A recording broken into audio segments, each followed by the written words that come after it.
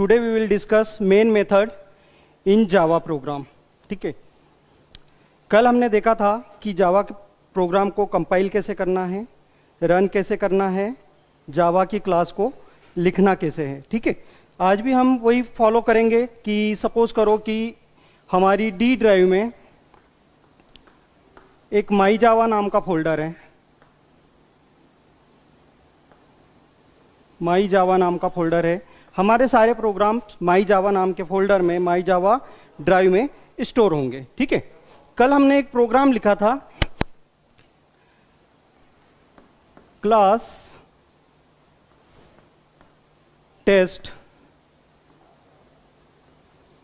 और इस प्रोग्राम को हमने टेस्ट डॉट जावा से सेव करके, इस प्रोग्राम को हमने टेस्ट डॉट जावा से सेव करके कंपाइल किया था रन किया था, ठीक है? ये प्रोग्राम सक्सेसफुली कंपाइल हो गया था, ठीक है? तो कंपाइलर ने इसके जो सिंटेक्स वाइज चेक करके, इसमें कोई भी एरर नहीं था तो ये सक्सेसफुली कंपाइल हो गया। और जो हमारा माई जावा नाम का फोल्डर है, इसमें इसका क्या बन गया था? बाइट कोड बन गया था जावा बाइट कोड ठीक है? दैट मीन्स की डॉट क्लास फ़ाइल ठीक है? उसके बाद हमने इस प्रोग्राम को क्या किया था? रन किया था जेवीएम को दिया था, ठीक है? तो जेवीएम ने सबसे पहले इसमें क्या चेक किया कि इसमें मेन मेथड अवेलेबल है कि नहीं? और मेन मेथड अगर अवेलेबल है तो वो प्रॉपर सिंटैक्स में है कि नहीं? तो इस प्रोग्राम में कहीं से कहीं तक इट डॉट क्लास फ़ाइल में कहीं से कहीं तक मेन मेथड नहीं लिखा हुआ था, ठीक है? सोर्स फ़ाइल में भी नहीं था तो बाइट कोड में पॉसिबल ही नहीं है जाना, ठीक है? तो जेवीएम ने एक एरर प्रोड्यूस किया था main method not found please declare main method as public static void main एक मेन मेथड का सिंटेक्स हमें बता रहा था जेवीएम की आपको मेन मेथड को इस तरीके से डिक्लेयर करना है ठीक है हम ये देखेंगे आज कि मेन मेथड को इसी तरीके से क्यों डिक्लेयर करना है ठीक है ऐसा ही क्यों जेवीएम सर्च कर रहा है उसे ठीक है उसके पहले हम ये देखते हैं कि एक प्रोग्राम में हम एक से ज़्यादा क्लासेस लिख सकते हैं ठीक है सपोज़ करो कि ये प्रोग्राम है क्लास टेस्ट ठीक है इसमें हम एक क्लास और ऐड कर देते हैं class B C A class BCA ठीक है करली ब्रैकेट ओपन और क्लोज सपोज़ करो कि ये प्रोग्राम हमारा टेस्ट डॉट जावा से सेव है. टेस्ट डॉट जावा से सेव है. ठीक है, अब हमें क्या करना पड़ेगा इस प्रोग्राम को जब हम कंपाइल करेंगे? ठीक है कंपाइल करेंगे तो हमें क्या लिखना है? कमांड प्रॉम पर कल हमने ऑलरेडी पाथ सेट करना भी देख लिया था, ठीक है? और आपको दोबारा अगर कमांड लाइन कमांड प्रॉम्प्ट को अगर आप ओपन कर रहे हैं तो दोबारा आपको पाथ सेट करना होगा, ठीक है? जावा के प्रोग्राम को आप टेम्परेरी पाथ सेट करके भी रन कर सकते हैं परमानेंट पाथ सेट करके भी रन कर सकते हैं, और विदाउट पाथ सेट किए किए बिना भी प्रोग्राम रन हो जाएगा। तो ये तीनों चीज़ें हम देखेंगे, लेकिन अभी आप कमांड प्रॉम्प्ट का टेम्परेरी पाथ सेट करके रखें, ठीक है? उसके बाद आपको क्या लिखना है इस प्रोग्राम को कंपाइल करने के लिए? जावा सी और test dot Java, test dot Java. जैसे ही प्रोग्राम सक्सेसफुली कंपाइल होगा तो माई जावा जो फोल्डर है, माई जावा जो ड्राइव है हमारी, इसके अंदर कितनी डॉट क्लास फ़ाइल बनेगी? एक या दो? हमारे सोर्स कोड में, हमारे सोर्स कोड में दो क्लास बनी हुई है, एक टेस्ट दूसरा बीसीए ठीक है, जैसे ही ये प्रोग्राम कंपाइल होगा, जैसे ही कंपाइलर इस फ़ाइल को एग्जीक्यूट करेगा तो यहाँ पर दो डॉट क्लास फ़ाइल बनेगी। ठीक है, यहाँ पर एक पहले से टेस्ट डॉट जावा फ़ाइल है। टेस्ट डॉट जावा फ़ाइल है, लेकिन आफ्टर कंपाइलेशन इसमें दो डॉट क्लास फ़ाइल बनेगी। पहली, इस क्लास के लिए डॉट क्लास फ़ाइल बनेगी टेस्ट डॉट क्लास दूसरा आपका बीसीए जो है बीसीए डॉट क्लास फ़ाइल बनेगा, ठीक है? बीसीए डॉट क्लास फ़ाइल बनेगा।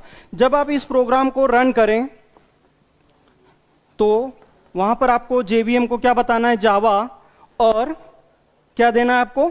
डाट क्लास फ़ाइल देना है। तो अब यहाँ पर यह देखना है कि कौन सी डाट क्लास फ़ाइल दें। ठीक है तो इस टाइप से कोई कंपल्सन नहीं है कि कितनी डाट क्लास फ़ाइल या कौन सी डाट क्लास फ़ाइल आपको देना है। जिस भी डाट क्लास फ़ाइल को आप देंगे, सपोज़ करो आपने यहाँ पर लिखा जावा टेस्ट, ठीक है तो क्या करेगा वो? इस बाइट कोड में इस डाट क्लास फ़ाइल में सबसे पहले मेन मेथड को सर्च करेगा जेवीएम ठीक है? अगर मिल जाता है तो उसको एग्जीक्यूट करेगा और अगर नहीं मिलता है तो एरर प्रोड्यूस करेगा कि main method not found please declare main method is public static void main and जो भी उसका सिंटेक्स है, ठीक है? सपोज़ करो आप यहाँ पर जावा टेस्ट की जगह पर अगर आप देते हैं यहाँ पर जावा बीसीए ठीक है? तो भी कोई इश्यू नहीं। तो क्या करेगा यहाँ पर जेवीएम इस बीसीए डॉट क्लास फ़ाइल में सबसे पहले मेन मेथड को क्या करेगा?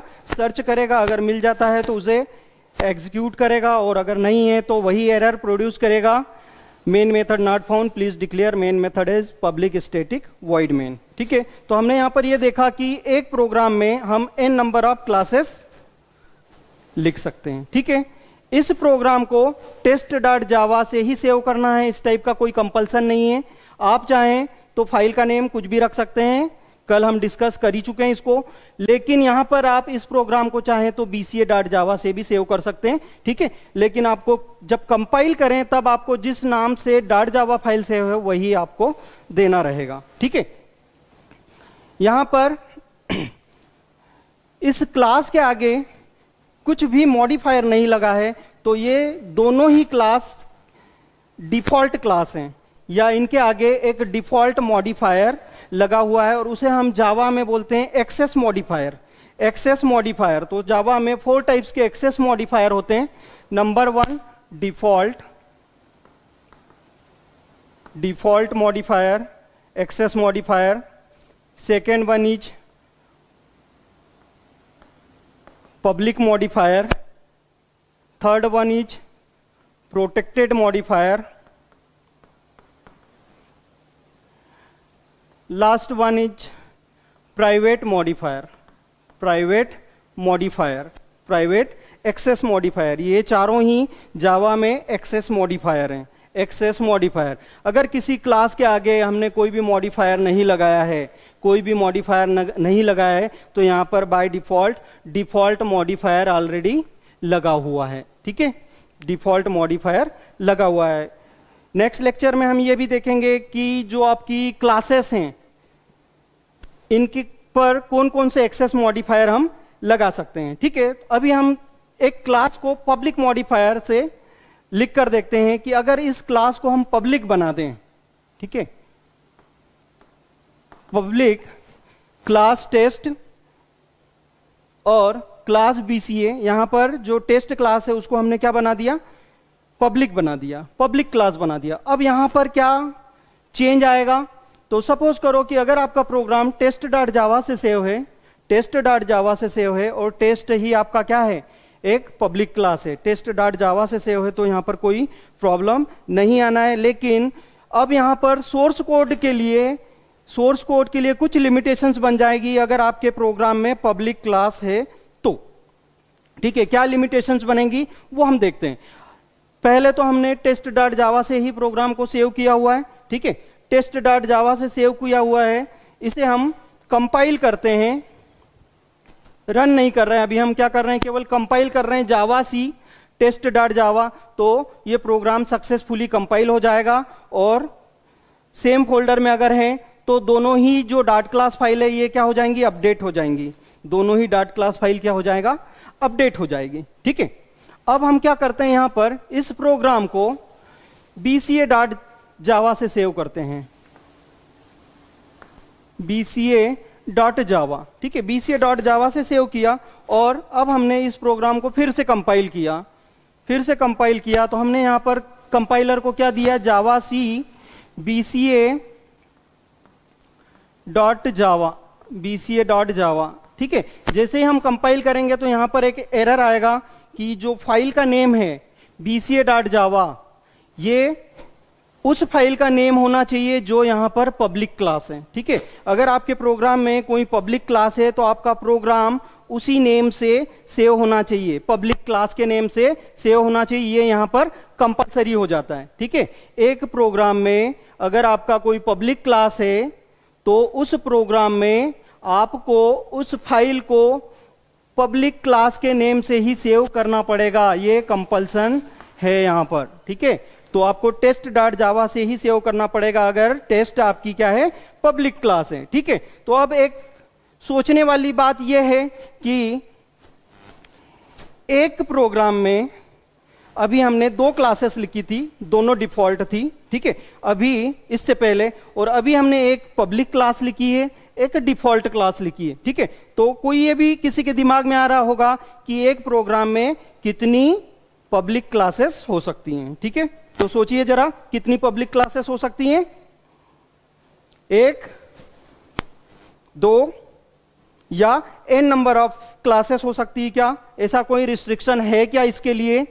तो जब आप किसी प्रोग्राम में पब्लिक क्लास लिखते हैं तो कंपल्सन क्या हो जाता है कि you have to save that file with the public class name with the public class name अब सपोज़ कीजिए कि अगर एक प्रोग्राम में दो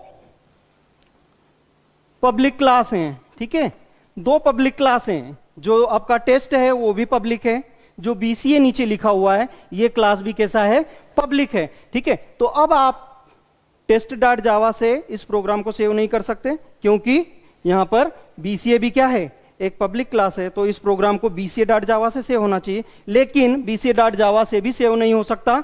क्योंकि यहाँ पर टेस्ट भी क्या है? एक पब्लिक क्लास है तो दो पब्लिक क्लास हो गई।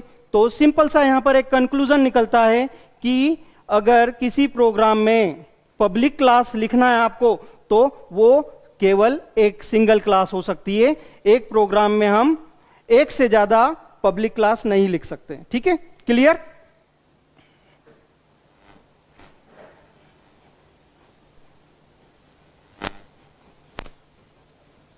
तो यहाँ पर अगर आपके प्रोग्राम में पब्लिक क्लास है तो आपका प्रोग्राम उसी नेम से सेव होना ज़रूरी है, ठीक है? उसी नेम से सेव होना ज़रूरी है। अब हम देखते हैं कि कल जो हमने प्रोग्राम लिखा था क्लास टेस्ट क्लास टेस्ट के अंदर लिखा था हमने public static void main void main parenthesis के अंदर लिखा था हमने स्ट्रिंग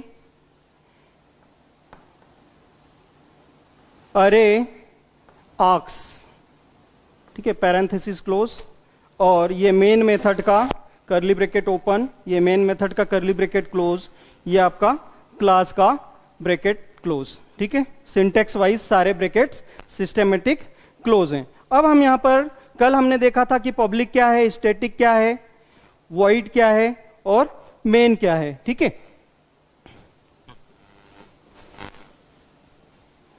तो यहाँ पर हम पहले डिस्कस करते हैं कि ये चीज़ें क्या है पब्लिक स्टेटिक वाइड मेन क्या है, ठीक है? तो इसको हम देखते हैं। तो यहाँ पर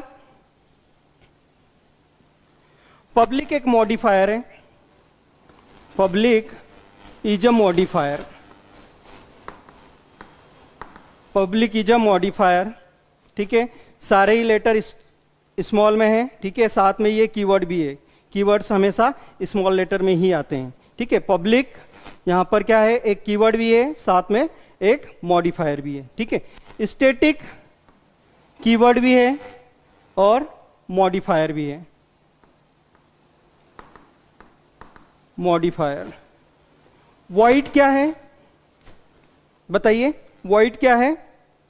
वॉइड सी और प्लस में वाइड क्या था? सी और प्लस लैंग्वेज में वाइड एक डेटा टाइप था, ठीक है? कीवर्ड भी था, लेकिन प्लस प्लस में क्या था? डेटा टाइप था। जावा के डेटा टाइप पता है आपको? कौन कौन से डेटा टाइप हैं? जावा में। क्या उसमें वाइड है? थोड़ा सा याद कीजिए जावा के डेटा टाइप्स जावा के डेटा टाइप्स क्या थे आपके? Byte short int long floating में रियल नंबर में थे आपके। कौन से? हाँ फ्लोट और डबल बिल्कुल करेक्ट फ्लोट और डबल थे। ठीक है तो कितने डेटा टाइप हो गए? कितने हो गए? Byte short int long float double float double और character char C H A R char और और लास्ट वन इज़ याद कीजिए, कुछ याद आया? बी से boolean boolean Java boolean data types को सपोर्ट करता है बुलियन ठीक है? तो ये जावा के क्या हैं? डेटा टाइप हैं। अब किसी के दिमाग में ये भी आ रहा होगा कि वाइड भी डेटा टाइप है, क्योंकि आपका बेस क्या है? सी सी प्लस प्लस पढ़ के आप आए हैं।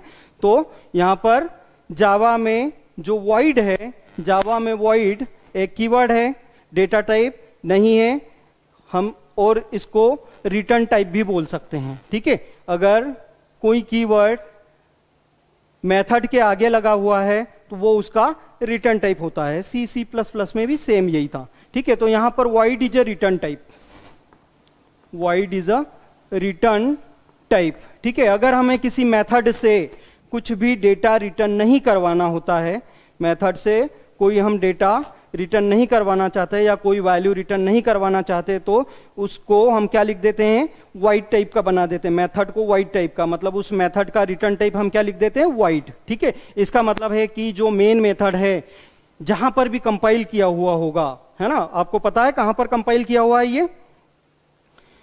ठीक है, देखते हैं आगे। जहाँ पर भी कंपाइल किया हुआ होगा, वहाँ पर ये जाकर क्या करता है? वैल्यू रिटर्न करता है। अगर आपने वाइड लगा दिया तो ये वहाँ जाकर, वहाँ पर जाकर वैल्यू रिटर्न नहीं करेगा। ठीक है? मेन यहाँ पर क्या है? मेथड नेम मेन क्या है यहाँ पर? Method name method name method name ठीक है? तो पब्लिक क्या है? Public is a modifier, static is a modifier void is a return type, main is a method name, और यहाँ पर जो कंप्लीट है ये स्ट्रिंग एआरजीएस इसको ब्रॉडली कंप्लीटली पूरे को क्या बोलेंगे हम? Command line argument command line command line argument command line argument ठीक है? अब हम ये देखते हैं कि स्ट्रिंग क्या है?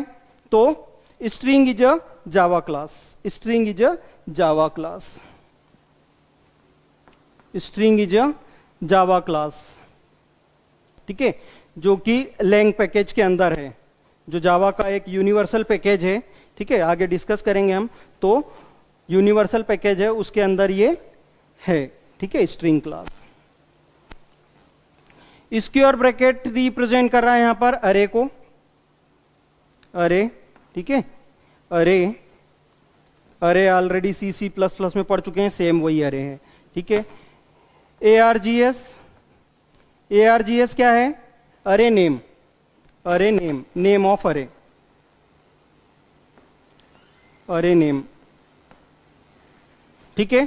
तो यहाँ पर public is a modifier, static is a modifier, void is a return type, main is a method name, string, array args is a command line argument. By forget अगर हम करते हैं तो स्ट्रिंग एक क्लास है ठीक है?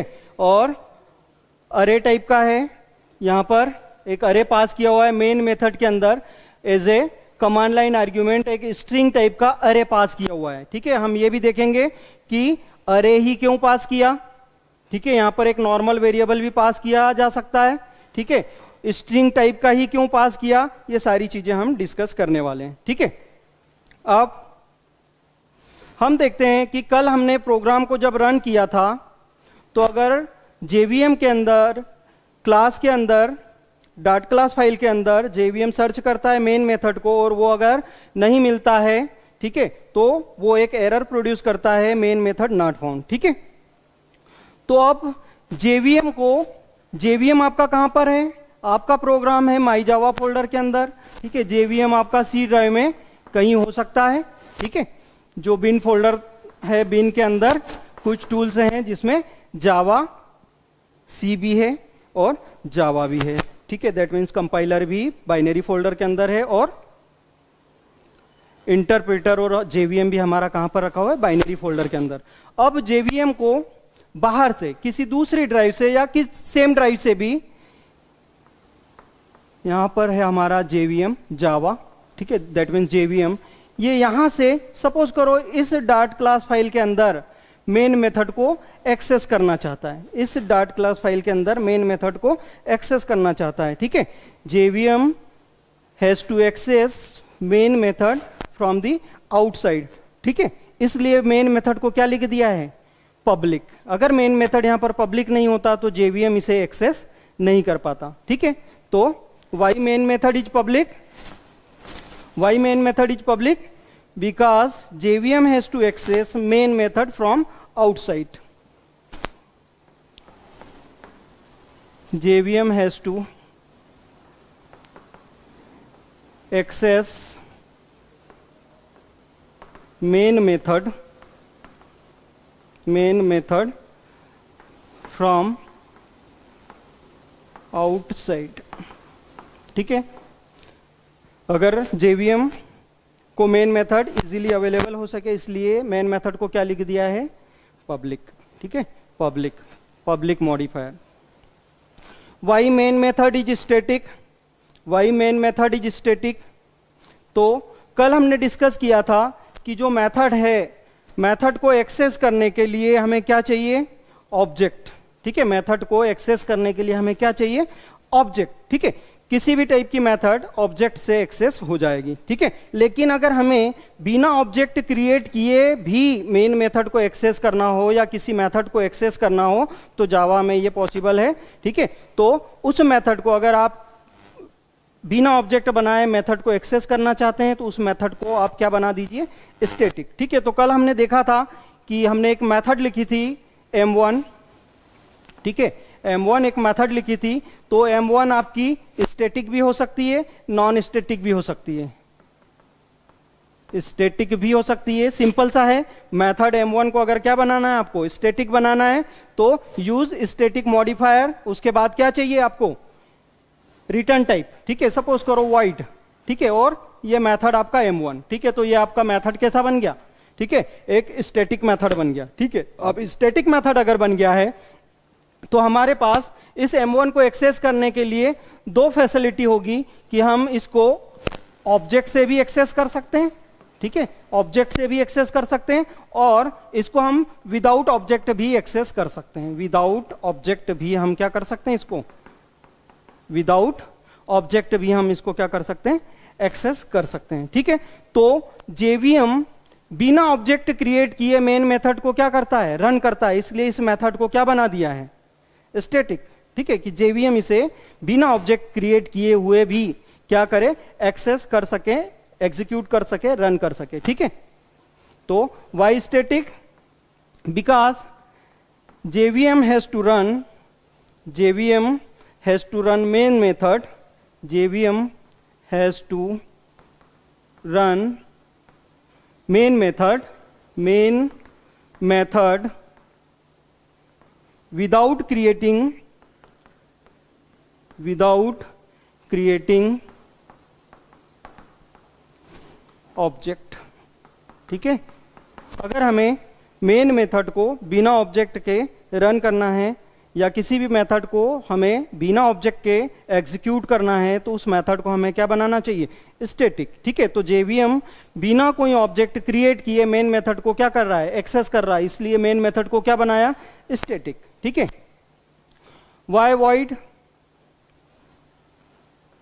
अगर हमें कोई वैल्यू रिटर्न नहीं करवाना है नो रिटर्न ठीक है? तो इसलिए मेथड को हम क्या बनाते हैं? मेथड का रिटर्न टाइप हमें क्या लिखना है? Void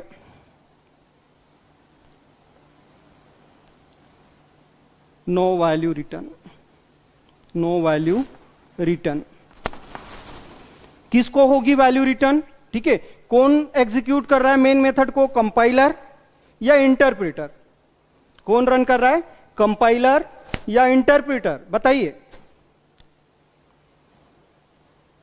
Compiler is responsible for source code JVM और interpreter is responsible for main method ठीक है जेवीएम एक्सेस कर रहा है किसे? मेन मेथड को। ठीक है मेन मेथड को। तो दैट मीन्स कि ये जो वैल्यू अगर यहाँ से कुछ रिटर्न होती तो ये किसे होती? जेवीएम को होती। ठीक है जेवीएम को होती। व्हाट इज़ जेवीएम और जावा इंटरप्रिटर तो सिंपल सा जेवीएम भी क्या है आपका? बाइनरी फोल्डर के अंदर आपने देखा ही है कि जावा का जो आपका पाथ है, उसमें बाइनरी फोल्डर के अंदर आपने जावा सी जावा जावा डॉक जावा पी इस टाइप की फाइल्स देखी हैं। तो ये फाइल्स क्या हैं?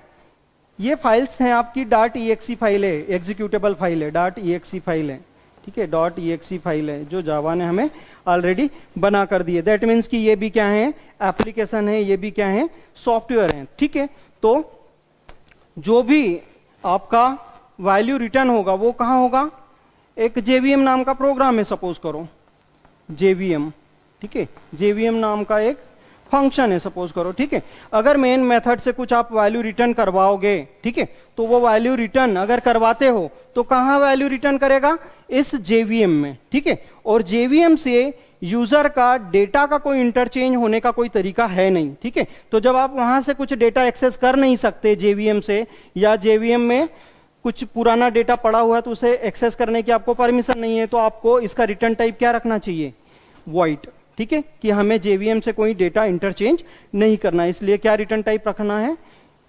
वाइट ठीक है? मेन मेथड नेम है, सारे लेटर इसके स्मॉल है। मेन क्या है? मेथड नेम है, ठीक है? और उसमें जो स्ट्रिंग अरे आक्स टाइप का एक कमांड लाइन आर्ग्यूमेंट पास किया हुआ है, एक कमांड लाइन आर्ग्यूमेंट पास किया हुआ है, ठीक है? हम ये देखते हैं कि ऐसा क्यों लिखा हुआ है, ठीक है? ऐसा क्यों लिखा हुआ है, ठीक है? स्ट्रिंग अरे आग से ही क्यों लिखा, ठीक है? तो इसको देखने से पहले हम देखते हैं एक सिंपल सा प्रोग्राम, ठीक है? उसके बाद आपको यह समझ में आ जाएगा। मैं एक सिंपल सा प्रोग्राम लिखता हूँ।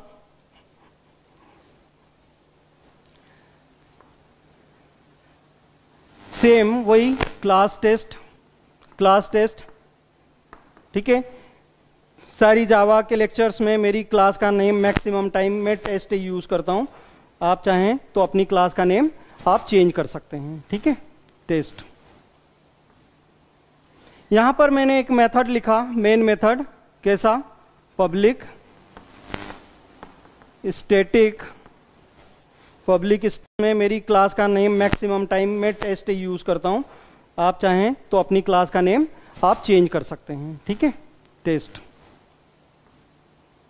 यहाँ पर मैंने एक मेथड लिखा मेन मेथड कैसा? Public static public static void main string याद रखिएगा स्ट्रिंग इज़ ए क्लास तो स्ट्रिंग का एस कैसा होना चाहिए? Capital string is a Java class ठीक है? और A R G S A R G S ठीक है? और ये मेन मेथड का ओपनिंग करली ब्रेसेस ये क्लोजिंग करली ब्रेसेस और ये क्लास का ब्रैकेट बंद। अब इस प्रोग्राम को हम क्या करते हैं? सिंपल सा कंपाइल किया हमने तो हमने लिखा जावा सी सपोज़ करो ये टेस्ट डॉट जावा से सोर्स कोड सेव है, ठीक है? टेस्ट डॉट जावा से। तो जावा सी टेस्ट डॉट जावा ठीक है? प्रोग्राम सक्सेसफुली कंपाइल हो जाएगा, कोई प्रॉब्लम नहीं है इसमें। उसके बाद हम इस प्रोग्राम को क्या करेंगे? रन करेंगे तो हम जेवीएम को क्या देंगे? जावा और उसका बाइट कोड टेस्ट ठीक है? ये क्या है आपका? डाट क्लास फ़ाइल है, जो टेस्ट लिखा हमने जेवीएम के साथ। ये क्या है आपका? बाइट कोड है टेस्ट डॉट क्लास फ़ाइल है, ठीक है?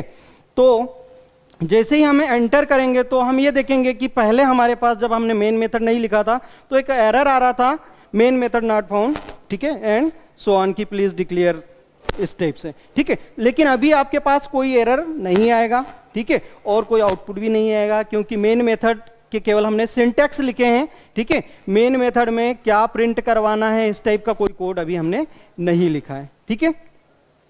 अब सपोज़ करो कि इस प्रोग्राम को मैं फिर से रन करता हूँ, ठीक है? फिर से रन किया मैंने, ठीक है?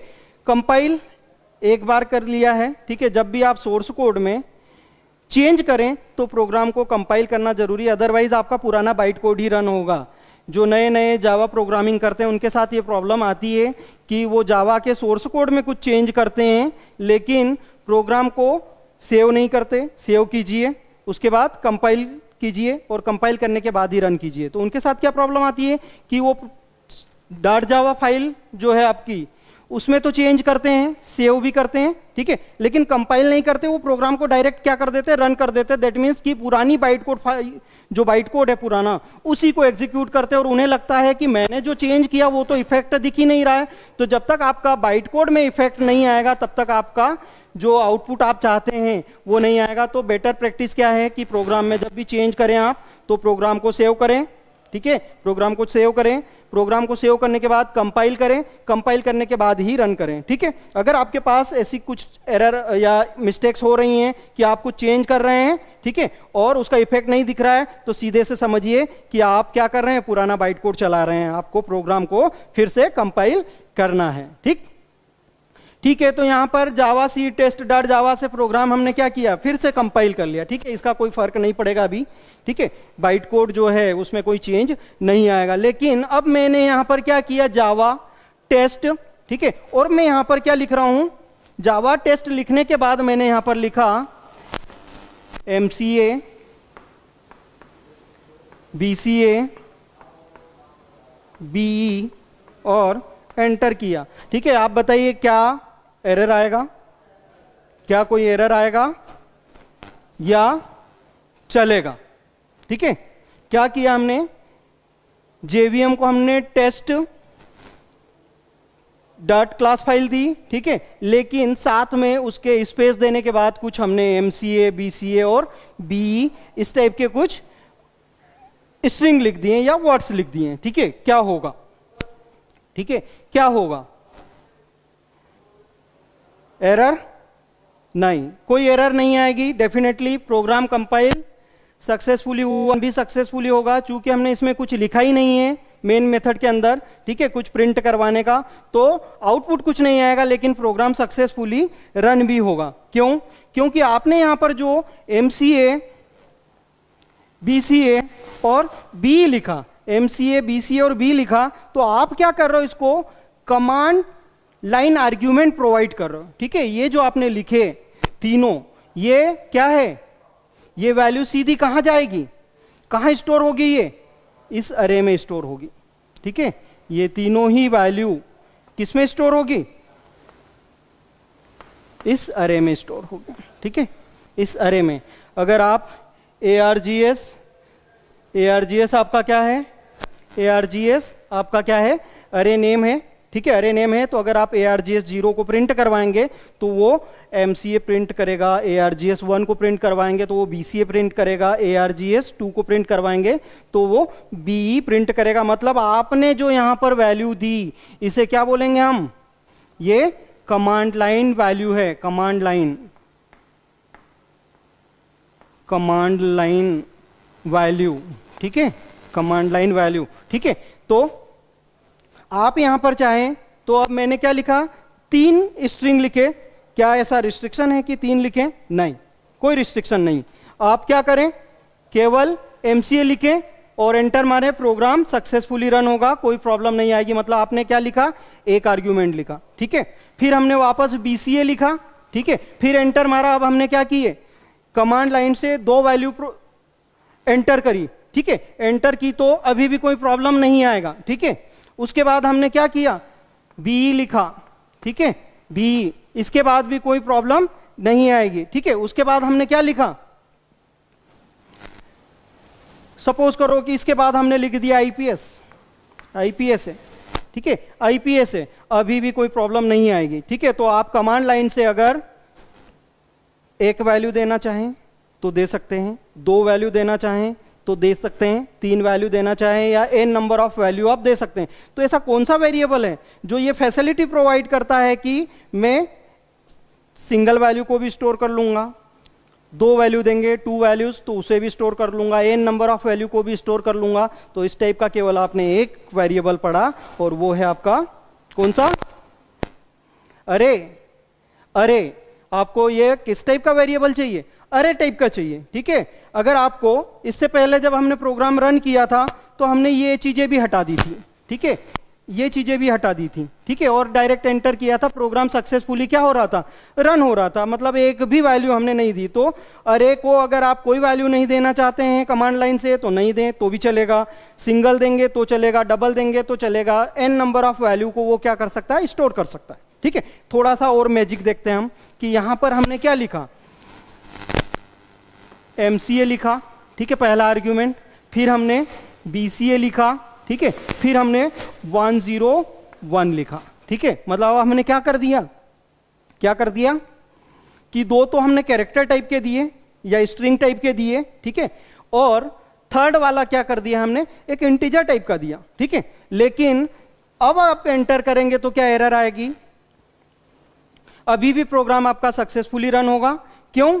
क्योंकि यहाँ पर आप जितनी भी वैल्यू दे रहे हैं, ये सारी की सारी स्ट्रिंग टाइप की वैल्यू कंसिडर हो रही है, ठीक है? मेन मेथड इसको कैसे ले रहा है? स्ट्रिंग में ले रहा है, ठीक है? स्ट्रिंग में ले रहा है, ठीक है? तो यहाँ से जो भी वैल्यू आप दे रहे हैं, वो कैसी है?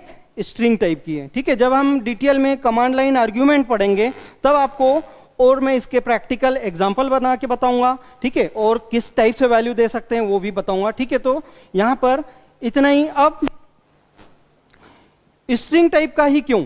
ठीक है, यहाँ पर सोचने वाली बात है कि अरे टाइप का क्यों? क्योंकि हमें अगर एक से ज़्यादा वैल्यू देना है, ठीक है तो normal variable single value hold करता है, ठीक है।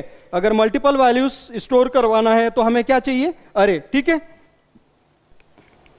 एआरजीएस क्या है? अरे का नेम है, इसकी जगह पर आप कुछ भी लिख सकते हैं, कोई इशू नहीं है। ए आर जी एस की जगह पर आप कुछ भी वैलिड आइडेंटिफायर लिख सकते हैं। मैं यहाँ पर बी सी ए लिख देता हूँ ए ठीक है? तो कोई इश्यू नहीं। ठीक है? ये चलेगा। मतलब आप कोई सा भी वैलिड आइडेंटिफायर का यूज़ कर सकते हैं। ठीक है? लेकिन जनरली ज़्यादातर ए आर जी एस का ही करते हैं। ठीक है? हम फिर से ए आर जी एस कर लेते हैं, लेकिन चेंज कर सकते हैं, कोई इफ़ेक्ट इसका नहीं होगा। ठीक है? अब हम ये देखें कि स्ट्रिंग टाइप का ही क्यों? ठीक है? ये दोनों चीज़ें हमें क्लियर हो गई। अरे टाइप का क्यों? A R G S array name है चेंज कर सकते हैं, करके देखिएगा। ठीक है? और प्रोग्राम आपका कोई प्रॉब्लम नहीं देगा सक्सेसफुली रन होगा। अब हम ये देखते हैं कि स्ट्रिंग टाइप का ही क्यों? ठीक है? स्ट्रिंग टाइप का क्यों? कमांड लाइन से हम कुछ भी वैल्यू दे सकते हैं। ठीक है? जो जावा के डेटा टाइप हैं, जैसे हमें बाइट टाइप की देना है शॉर्ट टाइप की देना है लॉन्ग टाइप की देना है फ्लोट टाइप की देना है, कुछ भी वैल्यू हम यहाँ से दे सकते हैं और वो सारी की सारी मेन मेथड क्या करेगा? कमांड लाइन आर्ग्यूमेंट में उसको स्टोर कर लेगा। ठीक है? अब स्ट्रिंग टाइप का क्यों? स्ट्रिंग टाइप का इसलिए कि स्ट्रिंग जो आपका डेटा है string can convert into byte string can convert into short string can convert into integer string can convert into long string can convert into float double ठीक है? इसलिए स्ट्रिंग टाइप का लिया है। ठीक है? कि किसी भी प्रिमिटिव डेटा टाइप में कन्वर्ट हो जाए, इसलिए क्या लिया है command line argument string type का। ठीक है? तो आप समझ में आया?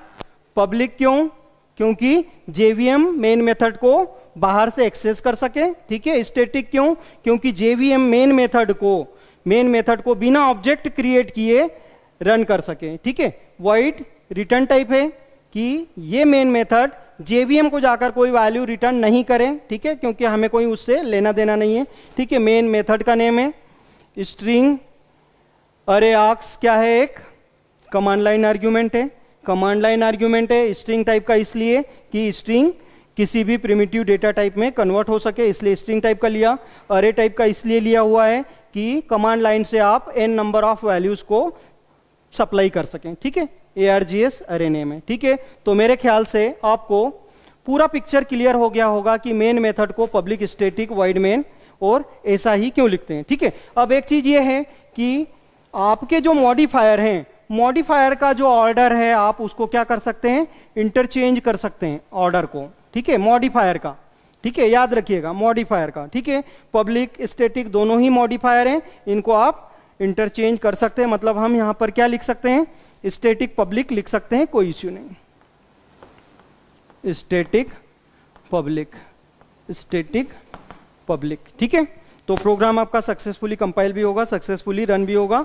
इनका प्लेस हमने इंटरचेंज इसलिए किया, क्योंकि मॉडिफायर का रूल है कि मॉडिफायर का जो प्लेस है, आप उसको इंटरचेंज कर सकते हैं, उनका ऑर्डर इंटरचेंज कर सकते हैं। ठीक है तो हम स्टेटिक पब्लिक वॉइड मेन भी लिख सकते हैं और आप करके डेफिनेटली इसको देखिएगा। ठीक है, अब हम क्या करते हैं? प्रोग्राम में कुछ डेटा डिस्प्ले करवाते हैं। ठीक है, कुछ डेटा डिस्प्ले करवाते हैं। तो हमने यहाँ पर लिखा, ठीक है, सारी चीज़ें क्लियर होगी आपको? यहाँ पर लिखा मैंने सिस्टम सिस्टम का एस कैपिटल सिस्टम का S capital because system is a class system dot out dot print ठीक है? System dot out dot print और यहाँ पर लिखा मैंने वेलकम ठीक है? अब जब आप इस प्रोग्राम को क्या करेंगे? फिर से सेव कीजिए। फिर से सेव कीजिए टेस्ट डॉट जावा से, ठीक है? और कंपाइल कीजिए javac test dot java test dot java ठीक है? उसके बाद प्रोग्राम सक्सेसफुली कंपाइल हो जाएगा। उसके बाद आप कहाँ जाएँगे? जावा और क्या लिखेंगे यहाँ पर? टेस्ट ठीक है? जावा टेस्ट और एंटर करेंगे तो output will be welcome output will be welcome. ठीक है? तो यहाँ पर आपका आउटपुट क्या आया? वेलकम। ठीक है, आप अपना नाम प्रिंट करवा सकते हैं। जो भी इस प्रिंट मेथड को देंगे, आप यहाँ पर डबल कोड में, वो आपका क्या हो जाएगा? आउटपुट में दिखेगा। ठीक है? अब सिस्टम क्या है? सिस्टम का एस कैपिटल है तो आप समझ चुके होंगे कि सिस्टम क्या है। सिस्टम एक क्लास। ठीक है? सिस्टम एक क्लास है। आउट क्या है? देखते हैं हम आउट क्या है और प्रिंट क्या है, ठीक है?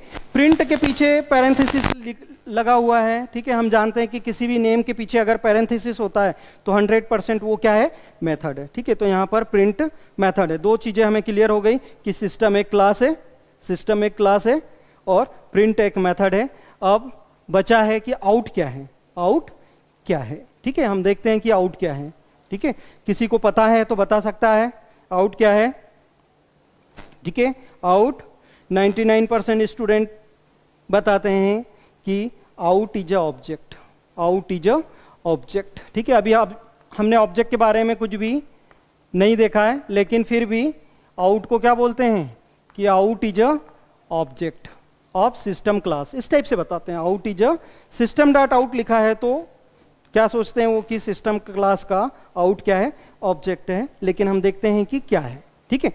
एक चीज़ और नोटिस करने वाली यहाँ पर है कि मैंने आपको किसी भी पैकेज को इंपोर्ट करना नहीं बताया, ठीक है? जैसे सी सी प्लस प्लस में आप क्या करते हैं?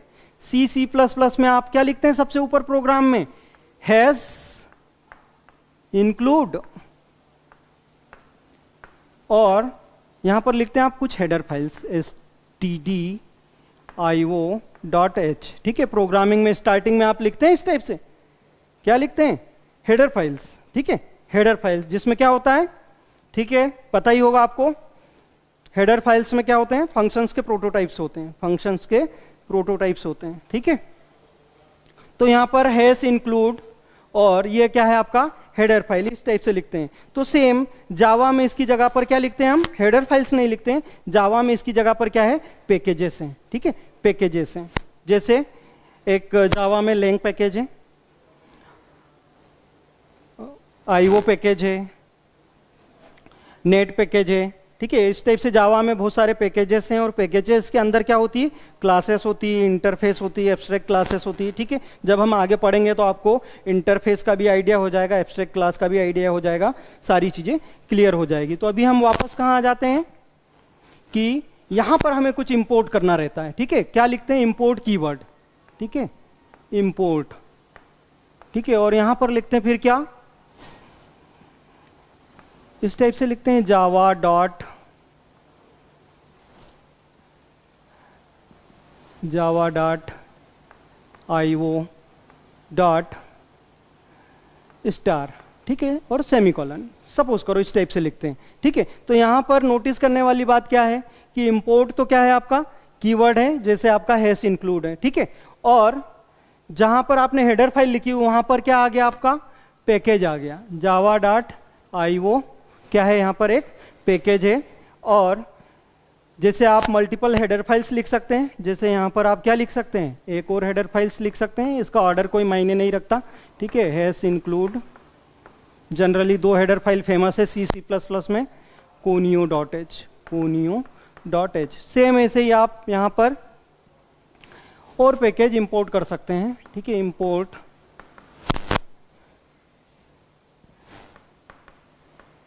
java dot lang dot star ठीक है? इसको लेकिन अभी कंपाइल करके सेव करके रन करने का नहीं है, ठीक है? अभी रन नहीं करना है, ठीक है? तो मल्टीपल पैकेजेस हम लिख सकते हैं। अब यहाँ पर थोड़ा सा हम ये देख लें कि जावा क्या है आईओ क्या है।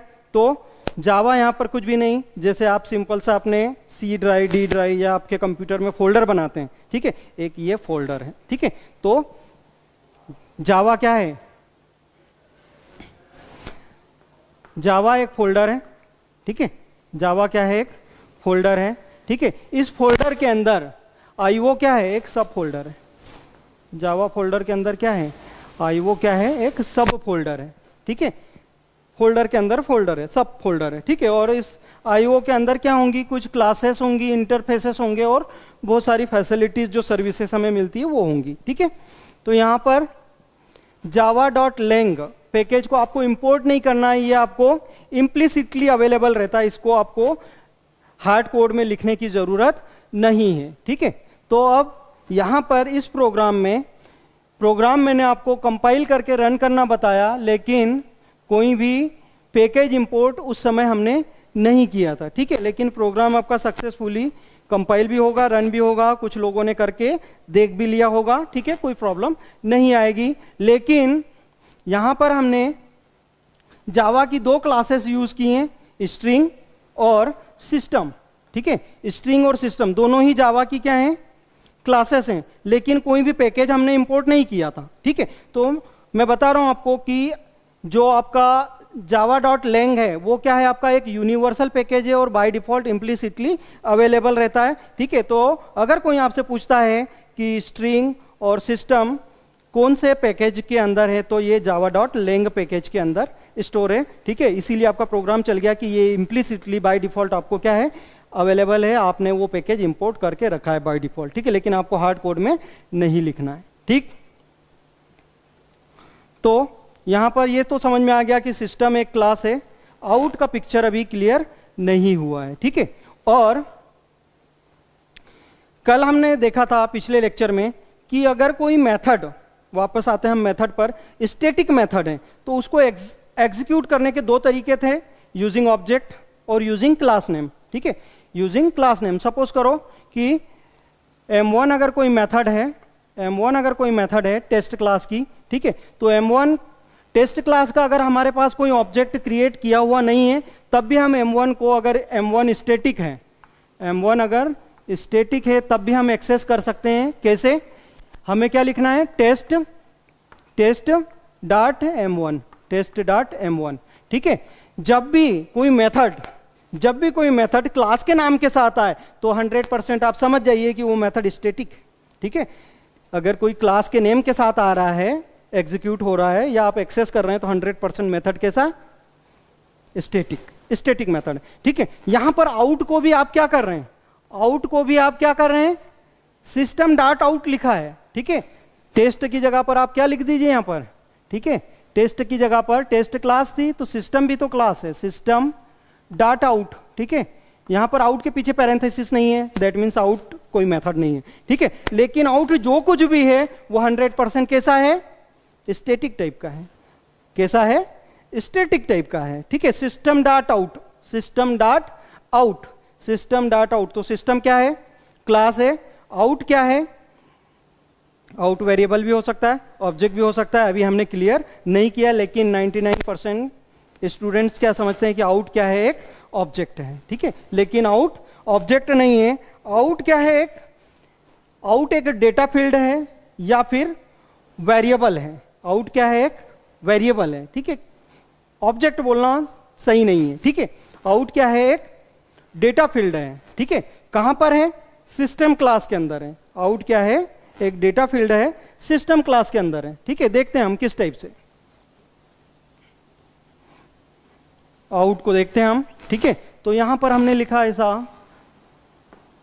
public class system public class system Java की क्लास है। हम नहीं बना सकते इस टाइप से, लेकिन हम केवल एग्जांपल देख रहे हैं। पब्लिक क्लास सिस्टम ठीक है? पब्लिक है, इसीलिए हम एक्सेस कर पा रहे हैं। सिस्टम क्लास जावा ने कैसा दिया एज ए पब्लिक इसीलिए हम सिस्टम क्लास को एक्सेस कर पा रहे हैं। अब अगर हम देखें यहाँ पर तो आउट को देखें तो जब आप सिस्टम क्लास को ओपन करके देखेंगे, मैं कमांड बताऊँगा कि आप जावा की क्लास के अंदर क्या क्या रखा हुआ है, कौन सी मेथड है, कौन से वेरिएबल है, वो अगर आप देखना चाहें तो देख सकते हैं, ठीक है? तो यहाँ पर आप देखेंगे एक जगह, बहुत सारा डेटा रखा हुआ है इसमें, सिस्टम क्लास के अंदर, लेकिन यहाँ पर लिखा हुआ है public final public final print stream print stream print stream print का पी बड़ा एस बड़ा, ठीक है print stream is a class Java camel case को फॉलो करता है। जब भी वर्ड आपका चेंज हो तो जो फ़र्स्ट लेटर होगा, वो फिर से क्या हो जाएगा आपका? कैपिटल हो जाएगा। ठीक है कैपिटल हो जाएगा। तो यहाँ पर definitely print stream is a class ठीक है print stream is a class print stream out public final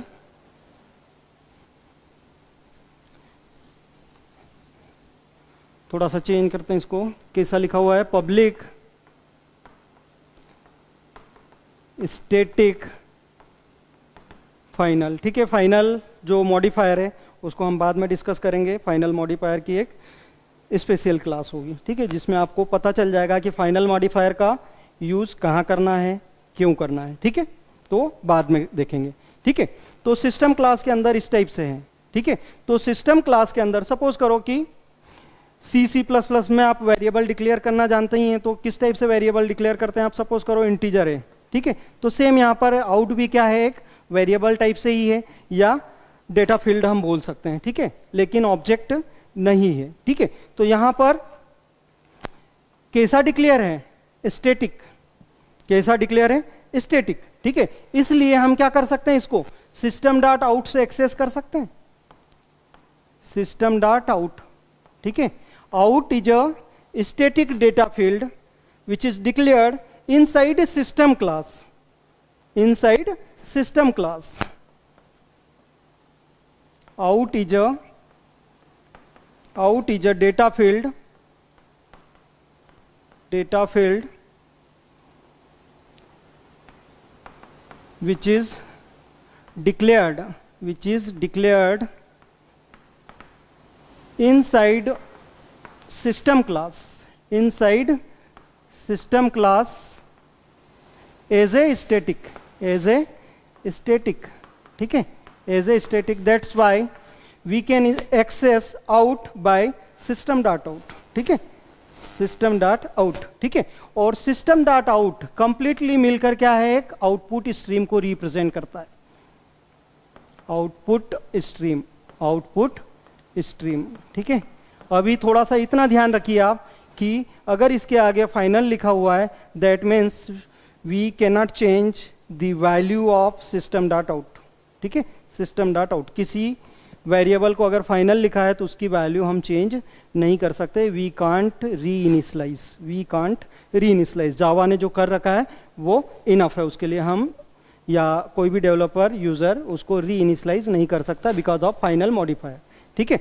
तो what is out? Out is a static data field which is declared inside system class. Which is declared inside system class. That's why we can access out by system dot out. System dot out. ठीक है? System dot out अब यहाँ पर एक चीज़ notice करने वाली है कि जो सिस्टम डॉट आउट है, वो किस टाइप का है? किस टाइप का है? प्रिंट स्ट्रीम क्लास टाइप का है. प्रिंट स्ट्रीम क्लास टाइप का है. ठीक है? जो आउट है वो डिक्लेयर तो सिस्टम क्लास के अंदर है, लेकिन उसका टाइप क्या है? प्रिंट स्ट्रीम ठीक है? प्रिंट स्ट्रीम क्लास का एक क्या है वो? रेफरेंस वेरिएबल है, ठीक है? प्रिंट स्ट्रीम क्लास का क्या है? रेफरेंस वेरिएबल है, ठीक है? रेफरेंस वेरिएबल है, ठीक है? तो अब अगर हमें प्रिंट स्ट्रीम क्लास का कोई मेथड एक्सेस करना हो तो प्रिंट स्ट्रीम टाइप का कोई रेडीमेड ऑब्जेक्ट हमें क्या चाहिए? रेडीमेड ऑब्जेक्ट चाहिए ताकि हम उस क्लास की मेथड को एक्सेस कर सकें, ठीक है? आउट यहाँ पर सिस्टम क्लास का कोई ऑब्जेक्ट नहीं है। सिस्टम क्लास के अंदर वो as a data field variable declared ठीक है? अब आउट का टाइप प्रिंट स्ट्रीम है, ठीक है? तो प्रिंट स्ट्रीम की किसी मेथड को एक्सेस करने के लिए हमें क्या लिखना पड़ेगा? सपोज़ करो प्रिंट स्ट्रीम एक क्लास है। प्रिंट स्ट्रीम एक क्लास है और इसके अंदर प्रिंट स्ट्रीम क्लास के अंदर एक मेथड है प्रिंट प्रिंट एक मेथड है. प्रिंट एक मेथड है. तो इस प्रिंट मेथड को अगर मुझे एक्सेस करना है प्रिंट मेथड को अगर मुझे एक्सेस करना है तो मुझे क्या चाहिए? प्रिंट स्ट्रीम क्लास का कोई ऑब्जेक्ट चाहिए ताकि मैं उससे मेथड को एक्सेस कर सकूँ, ठीक है? तो इसलिए हम क्या लिखते हैं यहाँ पर? Dot print print is a method of print stream class print stream class और print stream class IO package के अंदर है. Print stream class IO package के अंदर है. ठीक है? तो कंप्लीटली क्लियर हो गया होगा आपको सिस्टम डॉट आउट ठीक है? तो आज हमने क्या देखा? मेन मेथड का एक सिंटेक्स देखा कि मेन मेथड को पब्लिक स्टेटिक वाइड मेन क्या चीज़? है और ऐसा ही क्यों लिखते हैं? ऐसा ही सिंटेक्स क्यों लिखें? ठीक है? ऐसा ही सिंटेक्स क्यों लिखें? तो वो भी हम देख लेते हैं। ऐसा सिंटेक्स क्यों लिखे? क्योंकि जेवीएम मेन मेथड को जब सर्च करता है किसी क्लास में तो वो इसी फॉर्मेट में करता है। ऐसा क्यों करता है? क्योंकि जेवीएम जेवीएम जो आपका सॉफ्टवेयर है, उसमें मेन मेथड को इसी टाइप से क्या कर रखा है? कॉन्फ़िगर कर रखा है। Public static void main string args ठीक है? स्ट्रिंग अरे ऑक्स ऑक्स ठीक है? सेमी कॉलन ठीक है? जब जेवीएम के अंदर मेन मेथड को इसी टाइप से कॉन्फ़िगर कर रखा है, इसीलिए वो इस टाइप से सर्च करता है। ठीक है? सपोज़ करो कि अगर आपके पास मैं पाँच छह स्टूडेंट्स के मोबाइल ले लूँ, जो लगभग एक जैसे होंगे, ठीक है? सपोज़ करो मैंने फाइव मोबाइल्स ले लिए, ठीक है? और एक जैसे हैं all are in white colours ठीक है? और सेम कंपनी ठीक है? तो उनको अगर मैं इंटरफेस दिखाऊँ सपोज़ करो उसमें से एक मोबाइल मैंने हाइट कर दिया, चार मोबाइल है, और मैंने उसी स्टूडेंट को बुलाया जिसका मोबाइल मैंने हाइट करके रखा है। अगर वो सर्च करेगा, ठीक है? तो वो यहाँ पर चार मोबाइल है, लेकिन वो अपना मोबाइल नहीं ढूंढ पा रहा है और बोलेगा कि इसमें मेरा मोबाइल नहीं है। ठीक है? तो जेवीएम भी इसी टाइप से, जो उसके इनसाइड में जेवीएम प्रोग्राम के अंदर मेन मेथड को इसी टाइप से कॉन्फ़िगर किया हुआ है, इसलिए मेन मेथड को वो किसी बाइट कोड में इसी फॉर्मेट में ढूंढता है। इसीलिए मेन मेथड को ऐसा ही आपको लिखना है public static void main string args ठीक है? तो प्रैक्टिस कीजिए इस प्रोग्राम की, बना के देखिए। ठीक है? चेंज करके देखिए प्रोग्रामिंग में जब तक आप चेंज नहीं करेंगे चेंज कर करके देखिए और अपना दिमाग लगाइए उसमें, ठीक है? और कंपाइल और रन करके प्रोग्राम को समझने की कोशिश कीजिए, ठीक है? That's all